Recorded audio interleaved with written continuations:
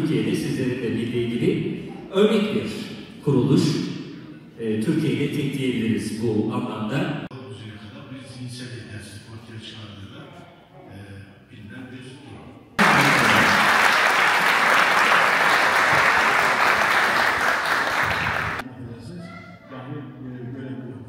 O yüzden e, yani konuşan bir ortama götürülmesi ben Fi sebilillah deriz biz. Yani bir karşılık beklemeden gönül vererek bu davaya, bu çocuklara, bu ailelere gönül vererek fi sebilillah bir yıldır geçkin bir süredir beraber çalışıyoruz.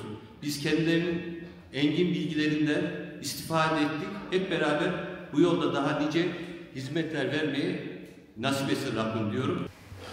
Burada işte mesela Down sendromlu çocukların dil ve iletişim becerilerinin artırılmasında neler yapılabilir gibi bir soru eğer e, sorulacak olursa özellikle eşleşen kelimeler bulma oyunları, dilin sade ve basit kullanımı, birlikte birçok kitaba bakmak, çocuğa kitap okumak, kafiye, ritim, tekrarlar, slogan, nakaratlar yapma, e, mümkün olduğunca çok göz teması kurma, şarkı, türkü, ilahiler gibi yani rondlar söyleyebilme, abartılı yüz ifadeleri, taklitler, model olmalar bunlar belki çocuğun dil ve iletişim beceri artırmada son derece önemli.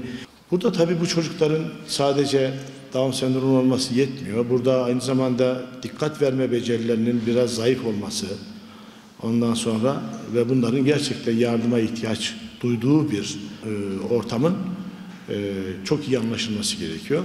Zaman zaman bu çocuklara bu kavramların anlaşılmasında vücut dilimizi, jest ve mimiklerimizi de çok iyi kullanarak bu çocuklara bu kavramları ya da dil ve iletişim becerilerini öğretmemiz gerekiyor.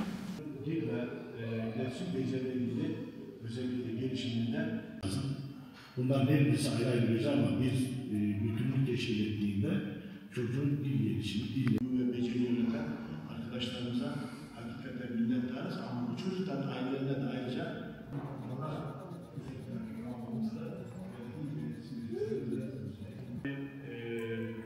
ama bu farkındalık düzeyinde e, söyleyebilme, abartılı yüz ifadeleri, taklitler, model olmalar, bunlar Bugün e, Hakan Hoca, Hakan Sarı hocamız e, Down sendromlarla ilgili bize bir seminer verdi. Bize e, alan öğrencileri olarak tabii ki merak ve ilgiyle bu programı bekliyorduk. Bugün de severek, keyifle e, dinledik kendisini. Çok memnun kaldık. Biz e, zaten hem alan öğrencileri olarak hem de bir sivil olarak kendim alandan bağımsız olarak bu etkinlikleri keyifle takip ediyoruz yani. Çünkü bunlar topluma fayda sağlayan etkinlikler. Ee, Bugün özellikle çocuklarımızda en büyük problemlerden biri olan dil konuşma yetersizlikleri için burada bilgi almak için geldik. Bize bir faydası olacağını düşündüğümüz için geldik. Sağ olsun Hakan Sarı hocam da bu konuda e, güzel bilgiler verdi. Umarım çocuklarımıza uygulayabileceğimiz bilgiler e, ve onların hayatlarında da böyle eğitimlerine destek olarak evde aile olarak uygulayabileceğimiz bilgiler edindiğimizi düşünüyorum. değil, yani tekrar edelim, hadi şöyle söyleyelim diyerek, teşvik ederek ihtiyaç duyduğu bir e, yani e, ortamın e, çok iyi anlaşılması gerekiyor. Hadi çocuklar ilgili iletişim becerilerindeki gerçekten yaptığımız